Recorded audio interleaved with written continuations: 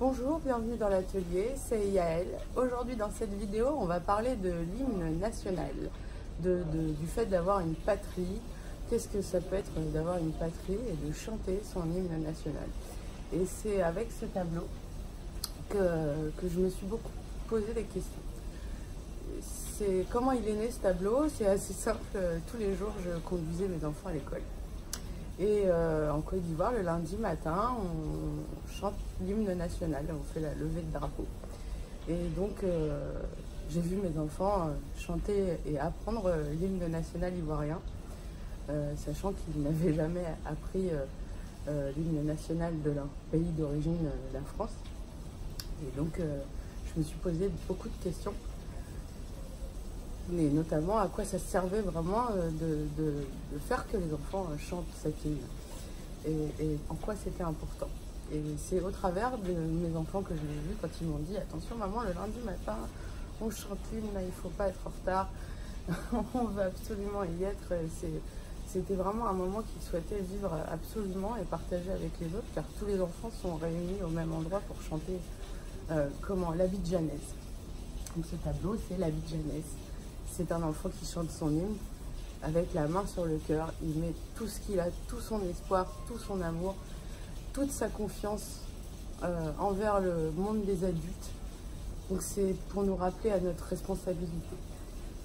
Cette œuvre aussi, elle est réalisée sur plastique.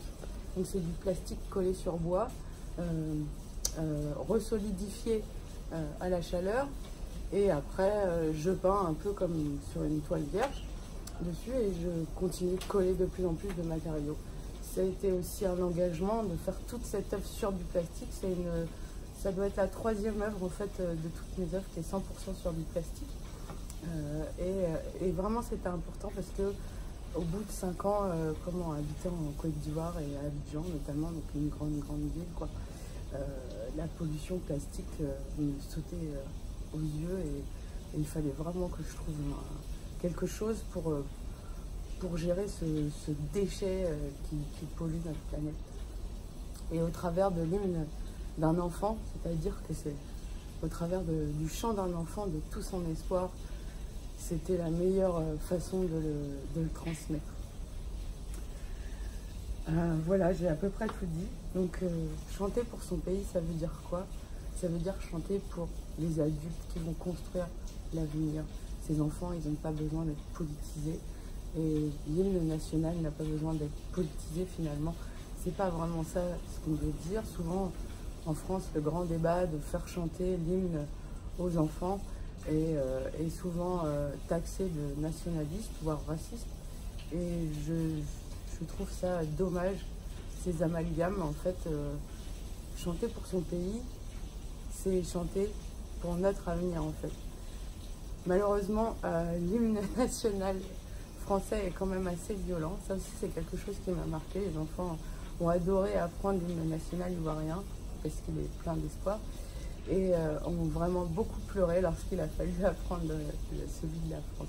Donc c'est encore une grande question. Peut-être que le plus dur dans l'histoire, c'est de croire dans les paroles qu'on chante euh, avec tout notre amour et tout notre espoir, comme cet enfant.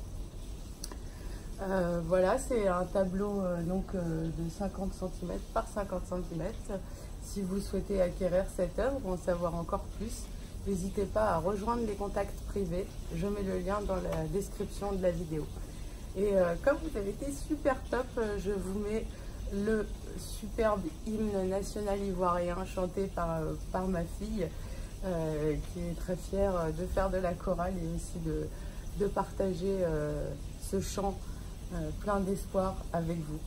Voilà, je vous remercie de votre attention. À très bientôt. terre d'espérance, pays de l'hospitalité, tels les jours remplis de vaillance ont relevé ta dignité.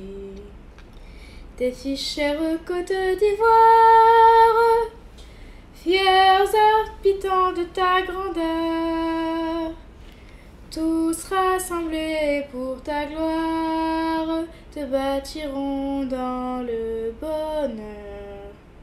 Fiers Ivoiriens, le pays nous appelle, Si nous avons dans la paix ramené la liberté, notre devoir sera d'être un modèle de l'espérance promise à l'humanité en forgeant unis